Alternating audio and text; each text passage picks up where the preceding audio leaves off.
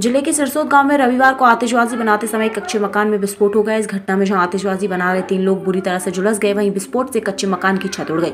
घायलों के इलाज के लिए जिला अस्पताल शिवपुरी में भर्ती कराया गया है। बताया जा रहा है कि गाँव के बीच में ही कई सालों से अवैध रूप से आतिशबाजी बनाने का काम किया जा रहा था, लेकिन पुलिस और प्रशासन ने इस और कोई ध्यान नहीं दिया, जिसके कारण आज ये बड़ा हादसा हो गया। विस्फोट की सूचना मिलने पर सिरसोद थाना पुलिस और प्रशासनिक अधिकारी मौके पर पहुँच गए हैं। मोनू नामदेव, शिवपुरी। आग लगी है? कैसे लगी थी? ये कुछ नहीं ये अनार भर रहे थे लाइट का तार शॉर्ट हो गया टायर एकदम परे आके उसमें गिरे मोड़ी जल गए तो अनार वगैरह बनाते हो क्या आप? हाँ अनार बना रहे थे। कब से काम कर रहे थे ये तो हमारे पूर्वियों से चला आ रहा है। ये सरसों की है। क्या आतिशबाजी बनाते हैं नहीं बना रहे अब आतिशबाजी विस्फोटिक चीज़ तो बनाना हमने बंद कर दिया अब तो अनार और मेकअप बनाते हैं। तो ये घटना कैसे हुई आज? ये अनार बढ़ रहे थे अनार एकदम लाइट तेज आ रही थी। लाइट के तार शॉर्ट होने से उस मसाले में परे गिर गए। तो आपके इसका तो कोई लाइसेंस वगैरह है? अरे साहब हम तो अपना पेट से पाल रहे तुम्हें लाइसेंस की पता बिना लाइसेंस का ये काम कर रहे थे। पहले हमारे पास में लाइसेंस था।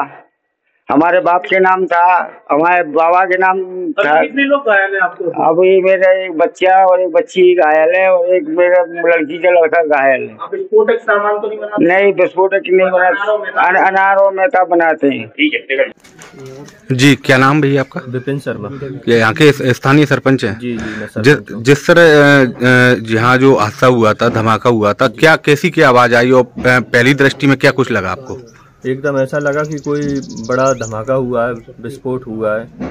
जैसे ही जानकारी मिली, आवाज़ आई तो मैं तुरंत यहाँ उपस्थित हुआ। सभी ग्रामवासी उपस्थित हुए और सभी ने अपनी तरफ़ से जितनी भी मदद बनी, उनको बाहर निकाला और निकाल के अपना पानी वगैरह सब तरीके से डाला और संबंधित थाना प्रभारी जी को भी अवगत कराया, वो भी तुरंत यहाँ उपस्थित हुए और सभी पुलिस की गाड़ी से, सभी से उन्होंने तुरंत फायर ब्रिगेड को भी मंगाया।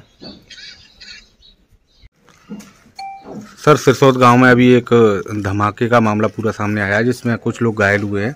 क्या सर, पूरा घटनाक्रम है और कितने लोग घायल हुए हैं और कैसे हुआ है सर हादसा?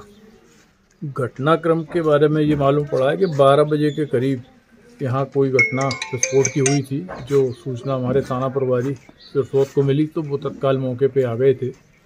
यहाँ पे उन्होंने आकर के अपने ग्रामवासियों के द्वारा और यहाँ पे जो सरपंच हैं, विपिन शर्मा जी उन लोगों के सहयोग से घायलों को तत्काल ही प्राइवेट गाड़ी से अस्पताल भेजा। घायलों में जो घर के मकान मालिक हैं इरशाद उर्फ़ इस्सू खां उनका बेटा आकाश जिसकी उम्र लगभग 25 साल होगी और बेटी नेहा 20 साल उसकी उम्र है। और नेहा का बेटा सुफान। यहाँ का नहीं वो बड़ी बन का है। तो इन लोगों के कुछ घर जलने से उसमें घाव हुए हैं बर्निंग के सुपरफिशियल टाइप की बर्निंग है, कोई ज़्यादा गहरे घाव नहीं है। यहाँ पर लगभग दो कट्टों में आतिशबाजी कुछ बना हुआ, जैसे सुतली बम टाइप के और ये सब सामान था। उसको फायर ब्रिगेड के द्वारा पानी डाल के आग को बुझाया गया और इनको जो विस्फोटकों को, उसको नष्ट कराया गया। घायलों को चिकित्सालय भेजा गया है, जिला चिकित्सालय। आगे वैधानिक कार्रवाइयाँ चल रही है। स्फोटक अधिनियम के अंतर्गत वैधानिक कार्रवाई अभी की जा रही है।